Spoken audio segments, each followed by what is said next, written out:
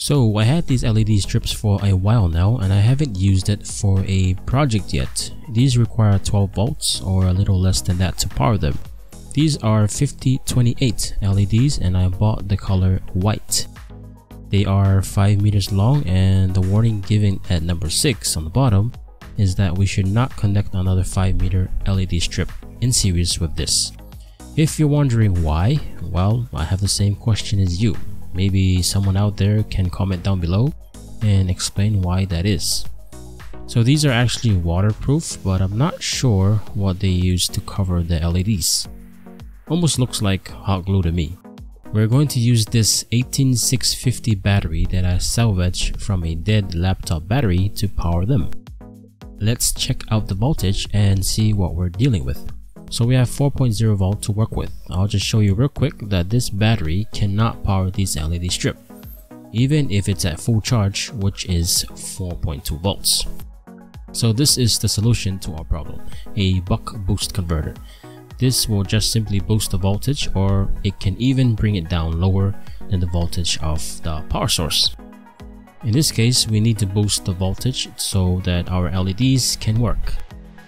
On the left side is the terminals for the input voltage or power source. Just remember to connect the right polarity.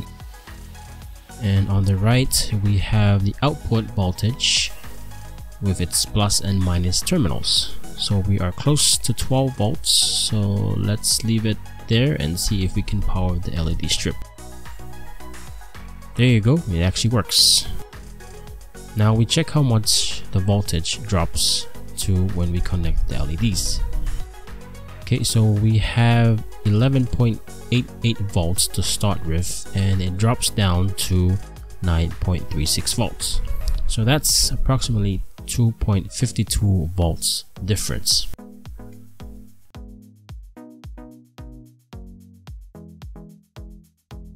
Now we can check how much current is being pulled from the battery.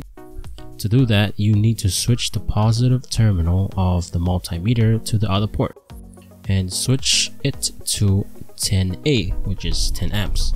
That's always a good start because we don't know how much amperage we're going to get.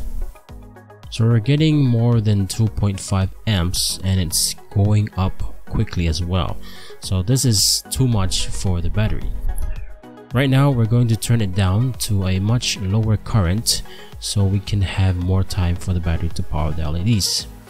Okay, so 200 milliamps seems to be okay. The module does not seem that hot compared to what we had the first time. 200 milliamps is low enough to power these LED strips more than 4 hours. That's if you have a battery with a capacity of more than 1 amp hour.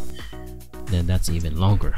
Of course the brightness is not that strong, but it's good for decorating your room, but up to you how much brightness you want. Remember, the more you try to output, the harder the module has to work and it will also pull too much current from the battery, which is not a good idea if it's not meant for a high drain.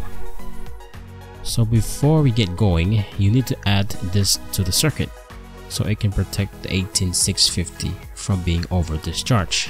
So your B plus and B minus is where you connect your battery and out plus and out minus is for the outgoing voltage which in this case goes to the buck boost converter or voltage regulator.